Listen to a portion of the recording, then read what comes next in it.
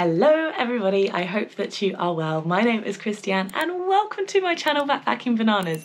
I am turning 30 this week, which means that I am entering a whole new decade. Now I know a lot of YouTubers will make a video sharing their life lessons that they've learned throughout their 20s, but I thought it'd be more appropriate for me to share with you 20 travel lessons that I have learned in my 20s because I have had the privilege of traveling for the majority of my 20s all thanks to this job on YouTube. And it has certainly not been plain sailing, and I have learned a whole load of lessons along the way, and so that is what I'm going to share with you today. The first lesson is you will fill whatever backpack that you buy, and it will always be enough. You buy yourself a 40 litre carry on only, you will fill it, and it will be enough. You buy yourself an 80 litre backpack that you have to check in on the plane, you will fill it and it will be enough. In fact, it will be more than enough. I'm so often asked about what size backpack to bring traveling, and honestly, the smaller the better just because it's going to be easier to transport around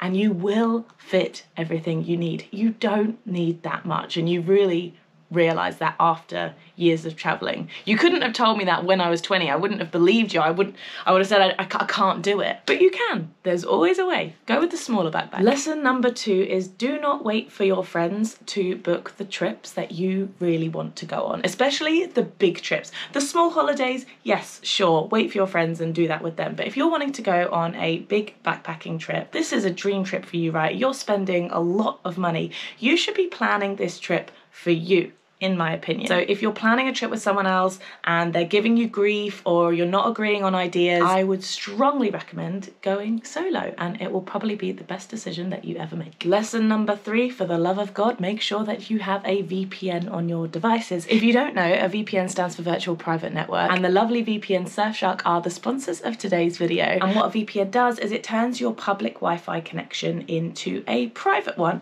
Why is this useful? Well, say you're at an airport or a cafe cafe, for example, where you are connected to their public Wi Fi network, if you don't have a VPN, hackers can actually get into your device via that connection. Whereas if you have your Surfshark switched on with literally just the click of a button, it immediately acts as a virtual shield on your connection, which means that those evil hackers can't get in. What it also means is that you can switch your virtual location to pretty much anywhere in the world with just the click of a button. So if you're abroad and you want to watch Netflix from your home country, or if you are in a particular country, you try to access a certain media and it says, sorry, this media or service is not available in this country it's annoying when that happens. But like I said, with Surfshark, with the click of a button, you can change your virtual location to anywhere in the world where that service is available. And suddenly the internet is your oyster. So Surfshark is one of the only VPNs that allows you to use it on an unlimited number of your devices with just the one account. And Surfshark are giving you guys three whole months for free when you use my code backpacking or using the link in the description. Lesson number four is that basic travel safety will get you pretty much everywhere that you want to go.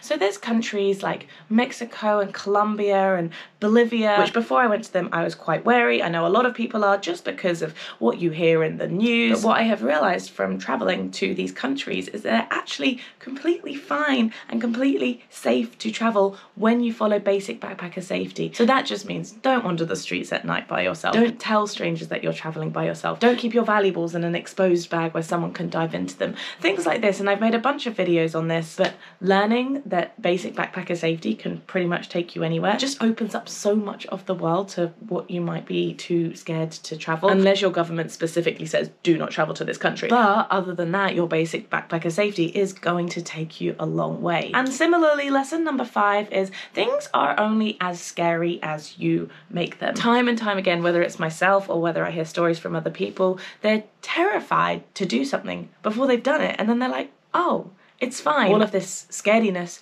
was all in my head, and there's not really anything that other people can say or do that are going to make you less scared. That's something that you're going to have to find within yourself. But next time you are feeling scared about doing something, just remember that it's you creating that feeling in your head, and you are capable of so many things when you pass that barrier. Lesson number six is a good waterproof is worth the investment. There is nothing worse than when you think you have an alright waterproof and you get caught in an actual downpour and and you are just soaked to the core. In my head, I've got like a hiking trip in particular in my mind. But you want to do your research on a waterproof to make sure that it is absolutely 100% waterproof and not just water resistant or rain resistant.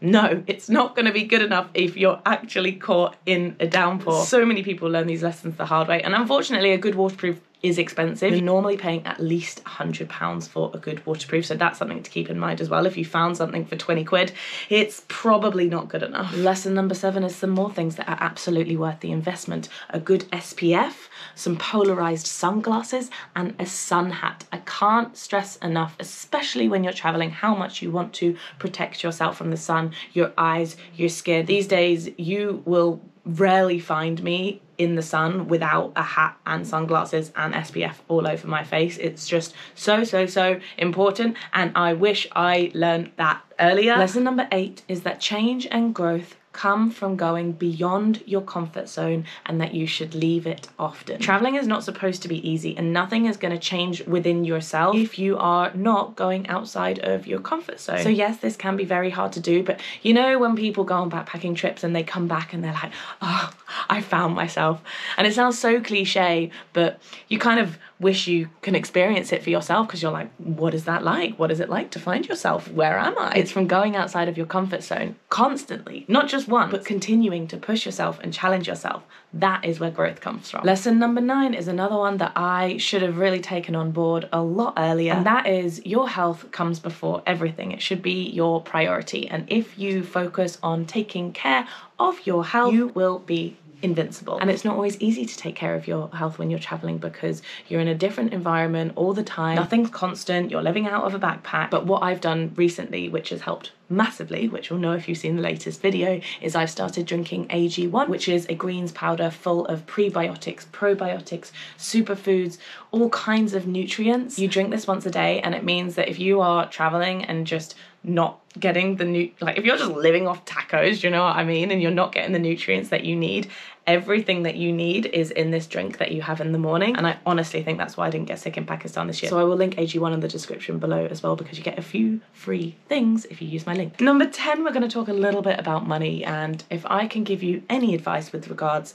to money and travel, it would be to one, have a budget and know what that daily budget is throughout your trip. And two, to track your spending every single day throughout this trip so that you can see that you are sticking to your budget. Sometimes you're a little bit over, but it means that other days you can be a little bit under. And it just means that your money can be sustained for as long as possible, perhaps even longer than you thought it was going to stretch. I see it all too often where backpackers are not tracking their spending and they head out on the trip, they're getting carried away, they're spending all their money, and then they have to fly home early because they're like, I've run out of money. You don't want that to happen to you. It's something that's very common in your 20s as well. Lesson number 11 is also about money, and it is that if you need to do any kind of currency exchange, you should do it in the country that you are going to. So either bring cash that you want to exchange, maybe you have euros, USD, or GBP. Bring that cash to the country that you're going to. You can find a Western Union or a currency exchange in the city and exchange your money there. Generally, I would avoid exchanging it at the airports just because generally they have higher exchange rates. But actually, and honestly, my favorite way to keep money is quite literally just on my debit card. I have a Revolut and a Starling, which are both digital banks, so they have super, super minimal exchange fees. And I get out money directly from a local ATM in the country that I'm going to. And here's the kicker make sure that you always decline the conversion. When you're getting money out, the ATM will say, hey, do you want to use our conversion, which is going to be this, or do you want to decline our conversion and use your own bank's exchange rate? And it'll be like, warning, your bank is probably going to charge you loads and loads of money for this, and so we think you should go with our exchange rate rate, whereas no, normally their exchange rate is a lot more. That is if you have one of these online banks like Monzo, N27, N26, one of those, Revolut, they're all brilliant for exchange rate. So if you're getting money out of the local ATM, decline that conversion. Lesson number 12 hostels are always a good idea. I feel safest in a hostel, and actually, controversially, I feel safest in a dorm room where I'm surrounded by other backpackers who are in the same boat as me. If I'm ever feeling unsure on my trip and I'm not in a hostel, I would move to a hostel. Any good hostel around the world also normally puts on events. They connect backpackers together. They'll have a bar with cheap drinks and it's good vibes. And I just really, really rate hostels, and I think you should too. Lesson number 13 is that you should stick air tags in everything or some kind of tracker. So you have like one in your main backpack, one in your little backpack. I have one inside my wallet. I want to get another one so I can attach it to my passport as well. I just feel like knowing where your things are at all times is priceless. And on a similar note to that, we'll put it in the same lesson, make sure you've got good travel insurance. I will never ever forget when I was on a super long flight home from Perth to London. I had like three layovers, and at some point along the way, my bag got completely lost like completely completely i had traveled through tehran in iran and they did not give me like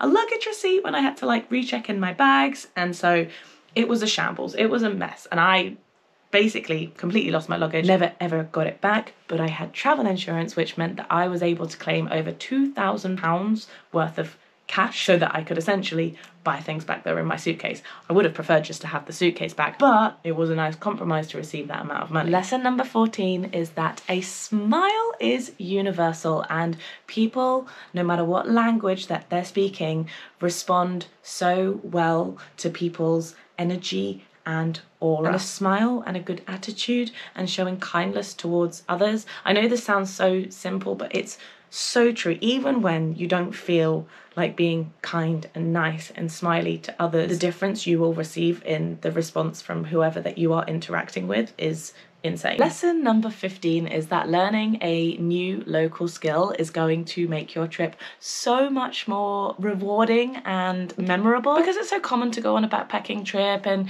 you know, you do some exploring, you see the sights, but when you actually learn something that is special to that country, whether it's the language, so going to the Spanish school in Central America, for example, or learning a local dance. I learned how to salsa dance in Colombia, or learning how to scuba dive. I guess that's not specific to a country, but it's better in some countries than others. Those experiences for me make those particular trips so much more memorable to me um, and so much more special and so much more special as well. And I feel so much more connected. So with every trip that you go on, consider learning a new skill. Lesson number 16 is how much you are going to thank yourself when you have documented your trip in some way, whether that's taking pictures, taking videos, writing in a journal. It's just so nice to have something to look back on because you're not going to remember every single thing that you get up to. And I know people say to live in the moment, and I think it's possible to do both, honestly. And I think that documenting your travels is one of the best things that you will do. Which leads me on to lesson 17, which is it doesn't matter what equipment you have to do the documentation, it does not need to be fancy. It can literally be the shittiest little camera, and that is good enough because it's gonna create something, and it's that something that's gonna keep that memory for you that when you look at that thing you're going to remember the trip. It's something that triggers the memories in your mind. So you don't need a drone unless you really want one. You don't need a super fancy camera. I used to travel with a like a much bigger camera than I do now. Now I literally just travel around with my GoPro because it's waterproof and it's good quality and it's small and it's not too expensive and it's great and it's all I need. And this is my job. If it's not your job, you definitely don't need anything fancy. Like I said, unless you really want to. Lesson number 18 is definitely more of a recent lesson learned and that is the importance of balancing exploration and relaxation so that you don't get travel burnout because travel burnout is real. A lot of travelers, when they're in a destination, they just want to do everything and they are going to fill up their itinerary. We're going to go here, here, here, here. But that is so knackering and it's also gonna stop you from enjoying where you are as much. So remembering that it's okay to say no to things, also remembering that you don't need to do every single thing at a destination. All that does is it gives you a reason to go back one day. So make sure that you are scheduling in relaxation as well as exploration. Lesson number 19 is to travel with the mentality that the best trips don't run smoothly. I don't believe that any backpacking trip should run smoothly. Obviously, you plan for it to be smooth, but really, you're having those best raw experiences, the ones that are going to make you grow as a person and go outside of your comfort zone when things don't go according to plan. And I think when you know that and those things happen, you're going to deal with the situation so much better and you're not going to think, oh, woe is me, my trip hasn't been perfect. I don't think it should be perfect. And I think once you adopt that mentality, you will learn to love the flaws in your trip. And finally, lesson number 20 if it's not going to put you in serious danger or serious debt, I absolutely stand for the whole YOLO motto and doing things for the plot because it's true, you only live once, you're only young once. If you meet a travel romance and they want you to travel with them to another country that wasn't on your plans, fuck it if it's not going to put you in serious danger or serious debt, just do it. I know people on TikTok call some of these things a canon event and you cannot interfere, but you need to go through those just like wild and chaotic experiences to learn your own lessons. But I really think that every traveler needs to go through them. And the best experiences really do just come from letting your imagination run wild, doing things that you never thought that you were going to do, taking risks, doing things that you didn't think you were capable of, changing plans. All of this is all part of the experience and it's always going to make your trip so much more memorable. And I feel like that is a nice point to end on. I really hope that you guys have enjoyed this video, my very last video of me in my 20s. So the next time that I film something new, I will be 30. Actually, what I can tell you is a vlog coming up. Um, I'm actually going to Portugal for my 30th birthday and I have invited a bunch of friends. I've rented a huge villa uh, and we're going on a boat. We've got a chef in. It's really extra and it sounds like I've put together a Love Island situation of me and all my friends and yes I have done that and yes I'm so excited. Um so I'm gonna vlog it and I'll let you in on all the goss maybe. So that video is coming up. That will be my first one in my 30s and I will see you guys then. Bye bye